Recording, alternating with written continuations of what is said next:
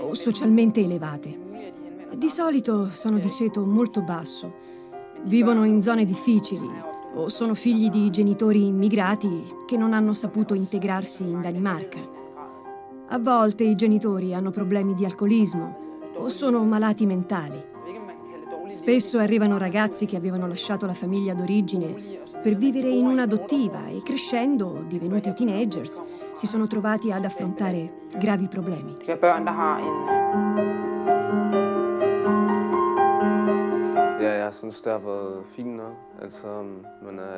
Andare alla scuola normale mi piaceva, però ora ho finito. All'interno della scuola l'arredamento era di qualità scadente.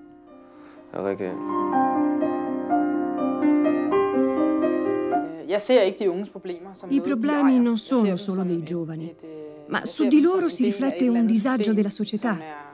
La responsabilità non è loro, ma del sistema.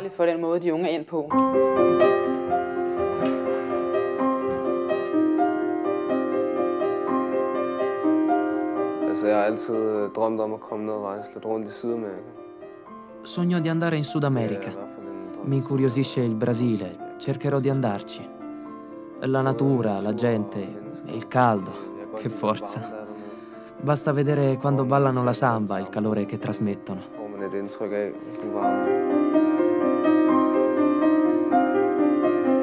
Però, visto come vivono lì, non mi sentirei sicuro a stabilirmici per sempre. Qui in Danimarca mi sento più protetto e poi le spese sono pagate dal comune. Altså det er, for mig er det et blandingsforhold. Ikke? È costruttivo cercare di risolvere queste difficoltà e noi lo facciamo con grande rispetto per i ragazzi, partendo dall'idea che tutti hanno risorse e capacità, ma spesso non riescono a rispondere alle richieste della società, perché mancano di fiducia in se stessi. Il problema sorge quando diventano più grandi, hanno bisogno di valori umani e qui forse li trovano. At de har svært ved at mestre de krav, som samfundet stiller, altså med kompetence.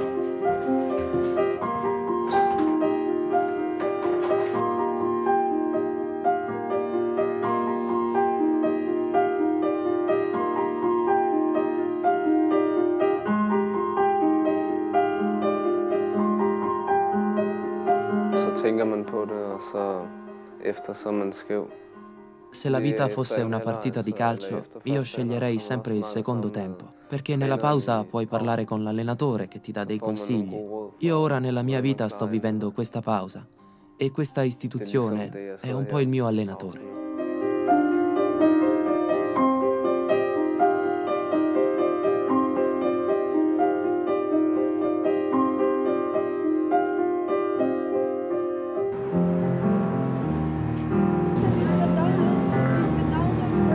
Classico modello scandinavo del giovane che se ne va presto via di casa per studiare o lavorare viene confermato in questo centro modello di Copenaghen, dove vengono a vivere a spese dello Stato studenti universitari provenienti da tutto il paese. Uh, and I've been living here in this dorm for uh, one year.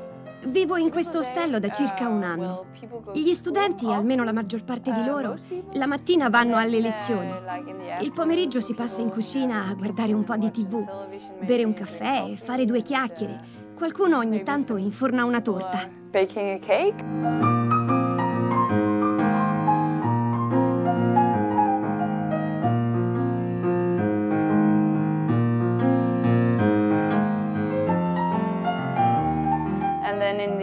Poi la sera di solito siamo una decina di persone e allora ci cuciniamo una cosa qui in cucina.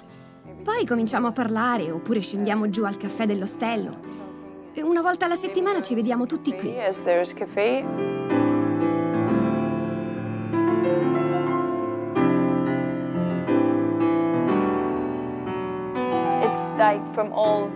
Qui vivono studenti di tutte le facoltà. Io faccio scienze politiche. C'è chi fa medicina, filosofia, storia, economia. Abbiamo ogni tipo di studente. È interessante stare tutti insieme, confrontarsi con tutti e non solo con quelli della tua facoltà. Own study.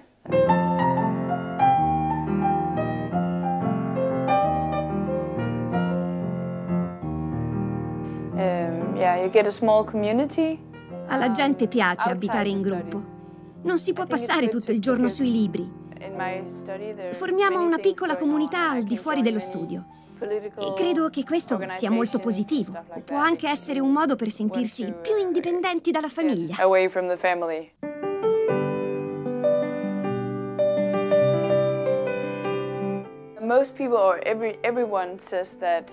Qui è molto comune il desiderio di andare a vivere per conto proprio. È la prima cosa che tutti si aspettano di ottenere appena finita la scuola dell'obbligo. Molti partono per un viaggio. Io, per esempio, appena finito il liceo sono andata in Norvegia a lavorare. Ci sono rimasta otto mesi. Poi sono andata in Ecuador e in India. È molto usuale girare un po' il mondo. In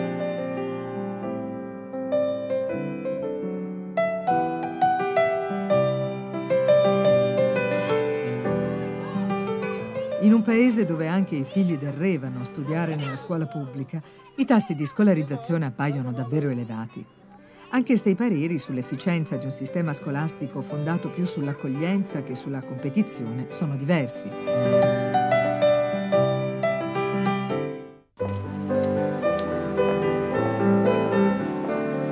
Lisbeth è una mamma danese appena tornata in Danimarca dopo un lungo periodo vissuto in Italia.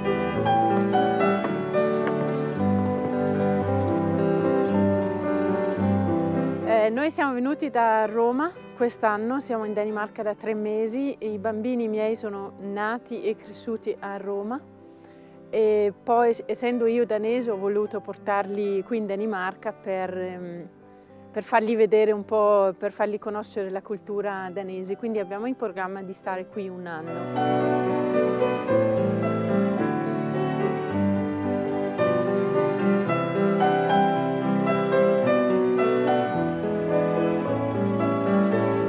L'esperienza eh, diciamo, è quella di una scuola molto meno accademica rispetto a, a, Roma, quindi più facile.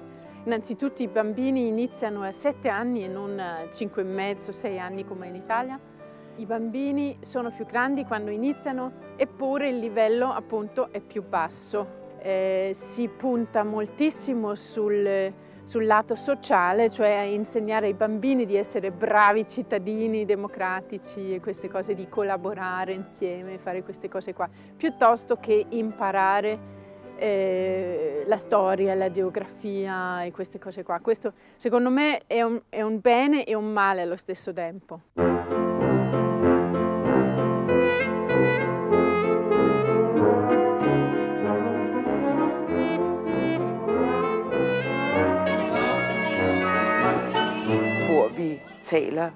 Noi seguiamo gli alunni uno a uno.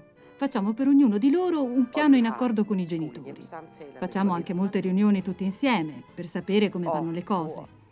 Come sono i rapporti di socializzazione tra loro, dove trovano le maggiori difficoltà, come se la cavano con i compiti, eccetera, eccetera.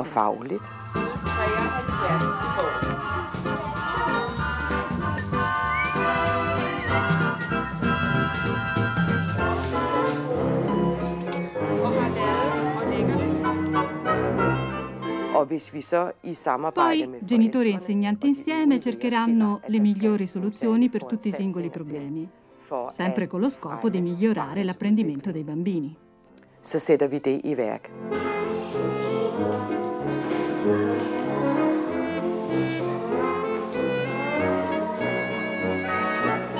È una società che coinvolge molto, però è anche una società che eh, vuole che tutti sono uguali. È una, una società che punta all'eguaglianza. In Italia siamo molto più abituati al fatto che tutti sono diversi. Abbiamo un napoletano, abbiamo un siciliano, abbiamo un milanese, sono cose completamente diverse. In Danimarca siamo più o meno tutti la stessa cosa, pensiamo allo stesso modo, infatti anche guardando la situazione politica danese è molto difficile vedere le vere differenze tra i vari partiti perché più o meno dicono la stessa cosa, qui sono tutti d'accordo su tutto.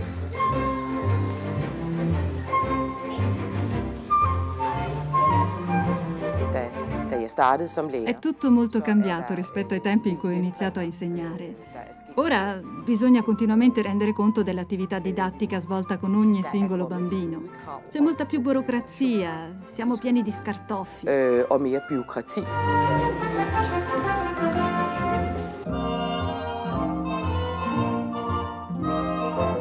Questa idea dell'eguaglianza inizia già nella scuola eh, e per questo motivo abbiamo un forte, eh, una forte discussione in Danimarca sugli immigrati.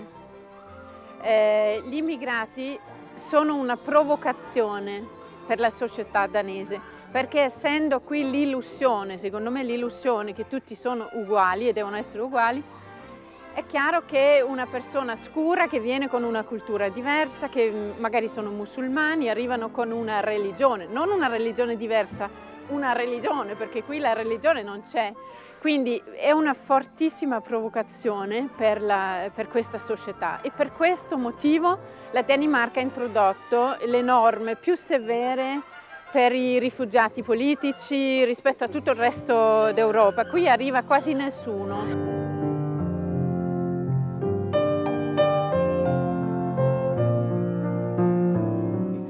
Stato che in campo religioso non vuole prendere posizione, una cultura che non vuole interessarsi della religiosità, poi ci sono naturalmente i conflitti tra eh, i soliti conflitti diciamo, del, di un laicismo che vorrebbe eliminare tutte le presenze del religioso nella vita sociale, conflitto che adesso diventa più acuto con la presenza dei musulmani, quali invece vogliono che questa presenza religiosa sia evidente eh, i, nostri, i nostri cristiani hanno l'impressione che dovrebbero in qualche modo nascondere la loro religiosità, il loro cristianesimo per far piacere ai musulmani, invece il contrario, perché i musulmani in qualche modo disprezzano quelli che non pregano. In Italia è vero che anche lì eh, rifugiati politici non arrivano, ma questo perché nessuno li aiuta in Italia, non, non gli importa niente a nessuno, quindi mh, sopravvivono se, se riescono da soli. Qui invece c'è un sistema ovviamente di protezione verso chiunque entra dentro il paese, però quasi nessuno entra più perché le norme sono talmente severe e questa è una richiesta da parte di tutta la società danese, da destra e da sinistra. Non vogliono immigrati.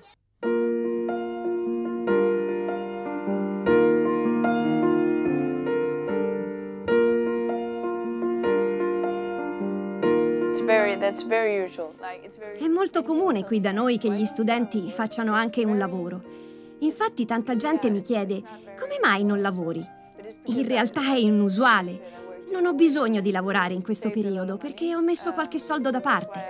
Faccio solo un po' di volontariato, ma non mi arriva niente da casa. Uh,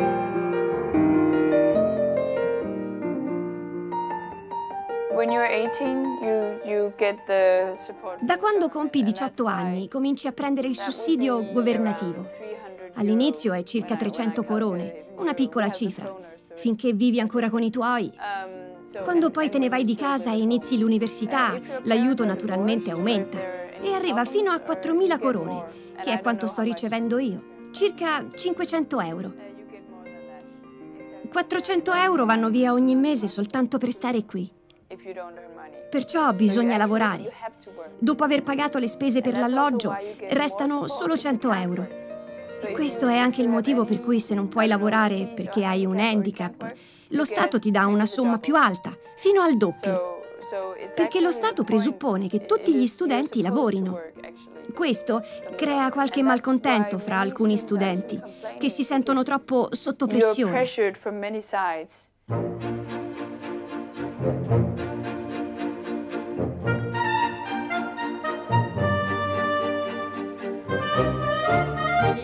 Che il sistema di welfare è, è buono, eh, nel senso che qui le scuole sono buone, le, le, se, se, ti ammali ti, puoi andare, però devo dire che non trovo che gli italiani sono così indietro come gli italiani pensano di essere.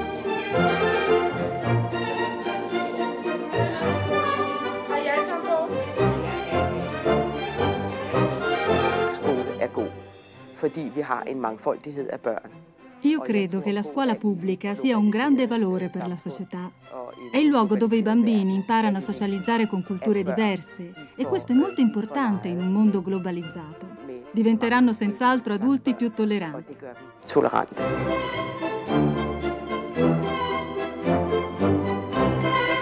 Qui forse siamo arrivati a capolinea nel senso di welfare state che sta andando un pochettino indietro, nel senso che quando arrivi a, un, ehm, a un'eccellenza, capolinea appunto, puoi solo andare indietro.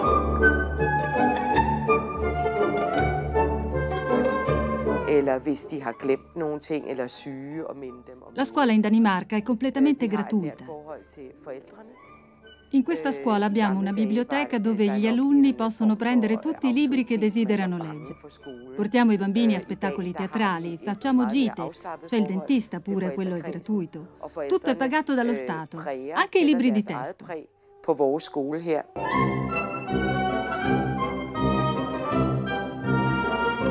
E qui quindi c'è un po' il problema che la burocrazia ha preso il sopravvento e allora ehm, le persone non ricevono più le cure che, che, che vorrebbero.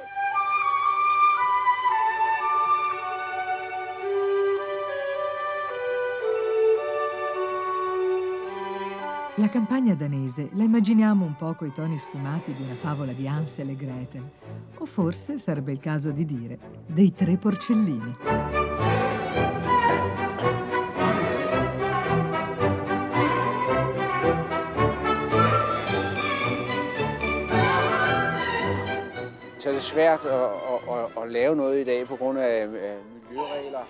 In Danimarca riceviamo qualche sostegno, c'è attenzione per l'agricoltura e l'ecologia, però l'agricoltore biologico meriterebbe più attenzione rispetto agli altri, perché è difficile curare l'ambiente rispettando tutte le regole che ci impongono. Una burocrazia con la quale è quasi impossibile comunicare, con un sistema di leggi, di regole molto rigido e complicato. E ci vuole molto tempo per riuscire a fare qualcosa. Og tager utrolig lang tid.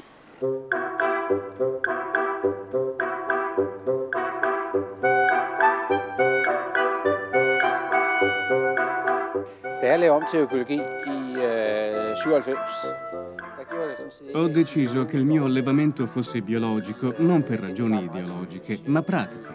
La differenza tra l'allevatore che ero prima e quello biologico che sono adesso è che non posso più utilizzare elementi chimici. E quando i maiali sono malati, non posso arrangiarmi per conto mio, ma deve sempre venire qui un veterinario a controllarli. Jeg ikke brugte økologisk foder.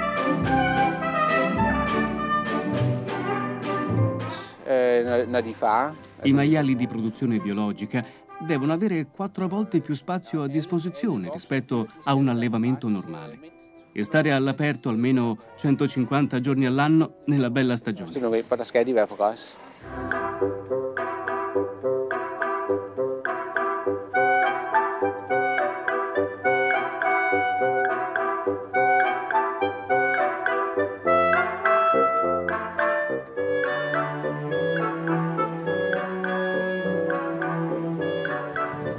Har valgkamp, så vi har lige hørt en hel masse om det, ikke også?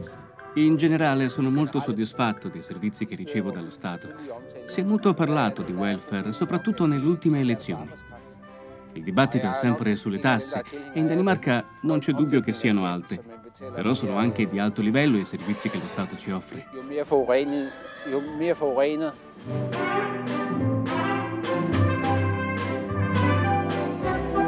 Jo også en årsag til, at vi har åbnet gården, så alle og anden kan komme og gå en tur. Il sistema di tassazione può essere un po' aggiustato. Si può fare qualche piccolo cambiamento. Per esempio, se sporchi o inquini di più, sarebbe giusto che tu pagassi più tasse. Se sei ecologico, invece, dovresti avere nel complesso un vantaggio fiscale maggiore. Da qui inizierebbe una catena virtuosa. Al supermercato si comprerebbero più prodotti biologici e la salute ne avrebbe un vantaggio.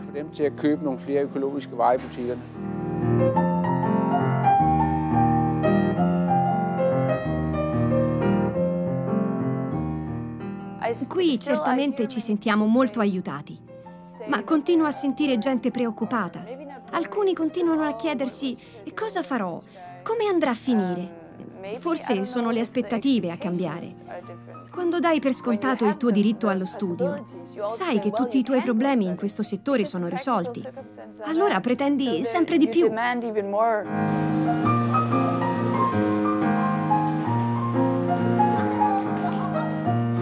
I danesi hanno la convinzione di essere i migliori in questo senso della welfare state. Non è del tutto vero.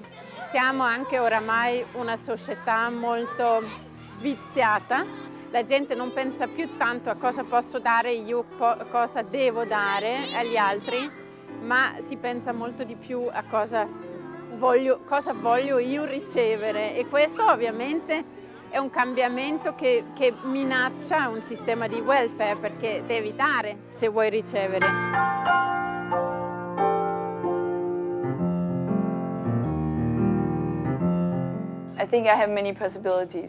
Penso di avere davanti a me molte possibilità.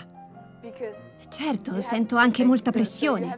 Essendo lo studio gratuito per tutti, è necessario eccellere. Devi fare tutto meglio degli altri.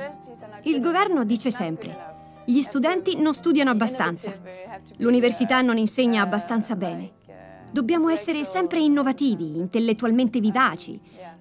Insomma, per un ragazzo può essere angosciante avere molti privilegi in una società che si aspetta sempre di più da te.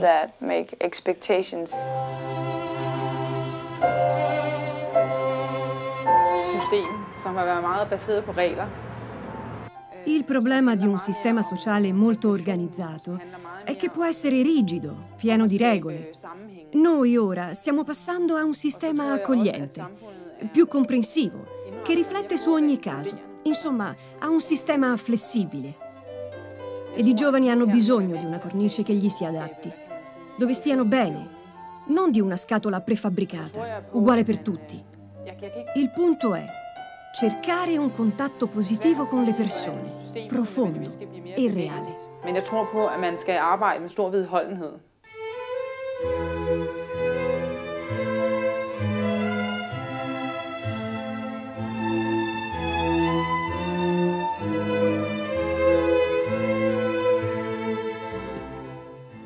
A volte è difficile riuscire a dare speranza ai fedeli. Anche a me a volte capita di sentirmi svuotato di ogni speranza, ma non vado certo a dirlo dal pulpito. Se a chi viene qui in cerca di speranza dicessi che anch'io spesso sento di averla perduta, certo non sarei di grande aiuto. L'unica speranza è dire che Dio è sempre con noi.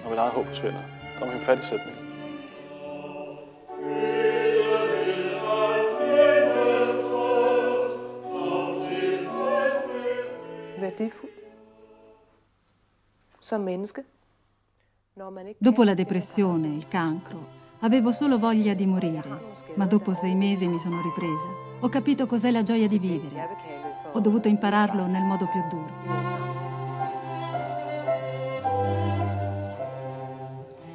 È stato difficile accettare che il mio valore come persona non è sminuito dai limiti della malattia, che sono gravi. Non ho più memoria, dimentico anche cose importanti.